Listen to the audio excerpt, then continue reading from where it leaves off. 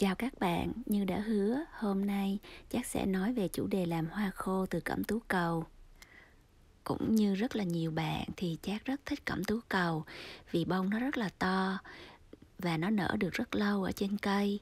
Rồi mặc dù nó không có hương nhưng mà nó lại không làm mình bị dị ứng. Để làm một bông hoa cẩm tú cầu khô thì trước tiên chúng ta phải chọn cái hoa nó thật già rồi chúng ta mới cắt thì để phân biệt giữa hoa cẩm tú cầu già và hoa cẩm tú cầu chưa già, trong video này mình sẽ chỉ cho các bạn một số cách nhìn, một số cách phân biệt. Thường thì cẩm tú cầu qua rất nhiều trạng thái màu hoa. Cho tới khi già thì hoa sẽ qua màu nâu nâu, hoặc có khi xanh xanh nâu nâu. Đây là hoa tươi thì nó có màu đỏ, màu hồng.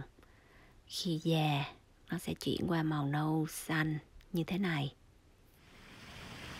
cũng giống như bông Incredible này. Thì khi mà nó bông già thì nó sẽ màu xanh và bông đang còn mới thì nó sẽ màu trắng. Một số cẩm tú cầu khác, khi mới thì bông nó sẽ có màu hồng, rồi từ hồng đậm. Rồi khi mà nó bắt đầu nó già hơn một chút thì cái màu nó sẽ pha dần đi. Thì các bạn sẽ thấy nó sẽ trắng dần, nhạt dần. Thì chúng sẽ pha dần cho tới khi mà có màu xanh xanh như thế này thì mới đúng là bông già. Trong này có một số bông màu nâu, tí nữa mình sẽ đề cập tới. Thường thì những bông màu nâu có nghĩa là do bị cháy nắng hoặc là do khi mình tưới mình không cẩn thận thì nước nó văng lên trên bông và gặp ánh nắng mặt trời, gặp sức nóng của những ngày hè thì nó sẽ bị cháy thì những bông cháy này đó nó có màu nâu thì không có còn cách nào để mà làm nó đẹp hơn màu nâu được hết. Thì à, khi mà làm hoa khô đó thì nó cũng chỉ là màu nâu này thôi và nó không có đẹp. Thì thông thường những cái bông này mình không có chọn để làm hoa khô. Nhớ là hoa cháy và hoa chưa có đủ già thì không nên chọn để làm hoa khô nha các bạn.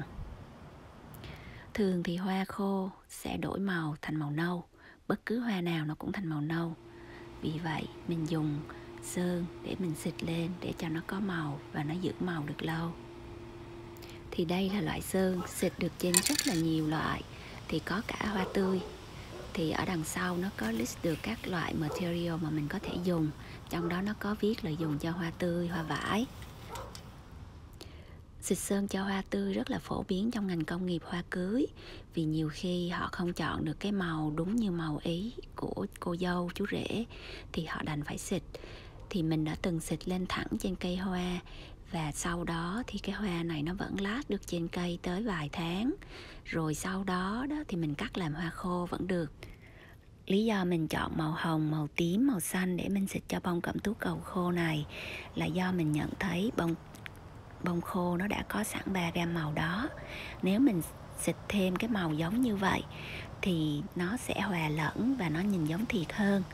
Bây giờ chúng ta cùng xịt ha. Thì các bạn nhìn cái bông này nó đã có sẵn một chút màu hồng, một chút màu xanh, cho nên mình bắt đầu bằng chai màu hồng. Trước khi xịt đó thì nhớ lắc đều chai sơn, nhớ đeo khẩu trang và đeo bao tay nha. Đừng có để như mình tí nữa phải lau bằng acetone rất là khô da và rất là khó chịu đó khi xịt đó thì mình không xịt quá gần tại vì xịt quá gần thì màu sơn nó sẽ bị dính từng bợn động không có đẹp. Xịt càng xa thì càng đẹp hơn. Nhớ là đừng có chọn ngày có gió tại vì gió nó sẽ làm hơi sơn bay chỗ khác. Rồi á à, cầm cái chai nghiêng nghiêng rồi xịt góc này góc kia để cho màu nó phủ.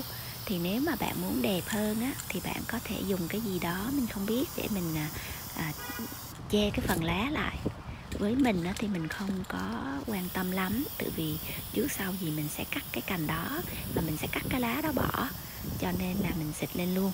Còn nếu như bạn xịt, bạn để trên cây đó thì bạn sẽ nên che lại thì nhìn nó đẹp hơn mình chọn xịt trên cây chứ không phải cắt xuống rồi mới xịt. Lý do là khi mình xịt trên cây có những cái cánh hoa nó chưa có được già nó chưa có bị à, à, đang còn non thì nó vẫn giữ màu đó cho mình. Cho tới ngày mình cắt thì cái hoa này nó vẫn còn màu sơn cho nên không có sao hết. Giống như hồi nãy mình nói là có những chậu hoa mình xịt cả mấy tháng rồi mình cắt vô làm hoa khô cũng không sao hết tuy nhiên nếu bạn chọn là cắt xuống rồi mới xịt giống như kiểu người ta xịt hoa cưới thì cũng không sao hết tùy bạn thôi. Tuy nhiên nó nhớ là sau khi xịt xong thì phải kiếm chỗ để để cái hoa nó dựng đứng lên chứ không thôi á, là nó bị dính sơn tùm lum. Rồi chưa kể là cái mùi sơn mình không có mang vào nhà ngay lập tức được. Thì mình xịt xen lẫn giữa màu này và màu kia thì nó hơi giống cái hoa cẩm tú cầu thật đó thì khi thật nó cũng cẩm tú cầu, nó có rất là nhiều shade màu, nó không hẳn có một màu. Đây là bông cẩm tú cầu chưa xịt và đây, sau khi mình bắt đầu xịt thì nó sẽ như thế này. Thì bạn nhìn thấy nó rất là thật. Đó là do mình chọn gam màu xanh. Thì cái bông khô nó đã có sẵn xanh xanh rồi, cho nên bây giờ mình xịt màu xanh lên. Thì nó giống như là bông thật vậy thôi thì cái bông màu xanh này nó sẽ xanh hòa như vậy tại vì cái sơn này nó phủ rồi. Mai mốt nó có nâu đi nữa nó cũng nó cũng không có thấy được nữa. Thì khi mà bạn chọn cái màu sơn nó cùng với cái tông màu của cái hoa ở dưới, hoa khô ở dưới thì khi mình xịt lên nó thì nó sẽ không có bị cái phần ở dưới nó ánh lên. Thì cái hoa nó sẽ ra cái màu nó trọn vẹn hơn. Cho nên có những bông mà mình chỉ xịt màu xanh không. Có những bông mình sẽ xịt thêm một chút màu hồng. Nếu như cái bông đó nó có chút xíu hồng, hoặc là có những bông mình không hề xịt màu xanh, chỉ xịt màu hồng với màu tím, thì tùy tùy cái loại bông, phía lúc khô nó như thế nào. Để mà mình quyết định là mình nên chọn cái màu sơn nào để xịt lên. Thì khi mà mình nhìn bông ở dưới có màu gì thì mình mới quyết định mình xịt ở trên màu đó. Thì ví dụ như bông này, mình sẽ xịt màu tím và màu hồng. Thì sau khi quyết định xịt màu tím với màu hồng thì cứ vậy là xịt thôi. Thì nhớ là mình xịt thì mình để cái chai sơn hơi nghiêng nghiêng và xa xa một chút.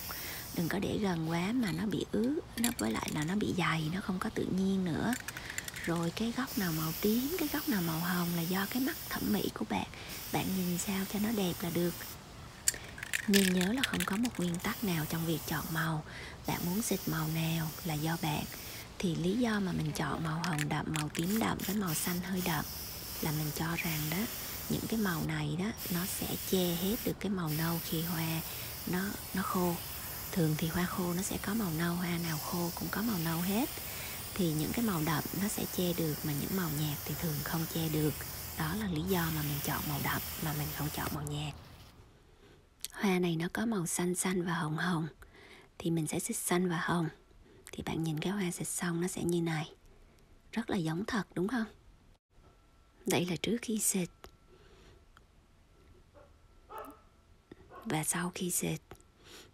Nhìn rất là thật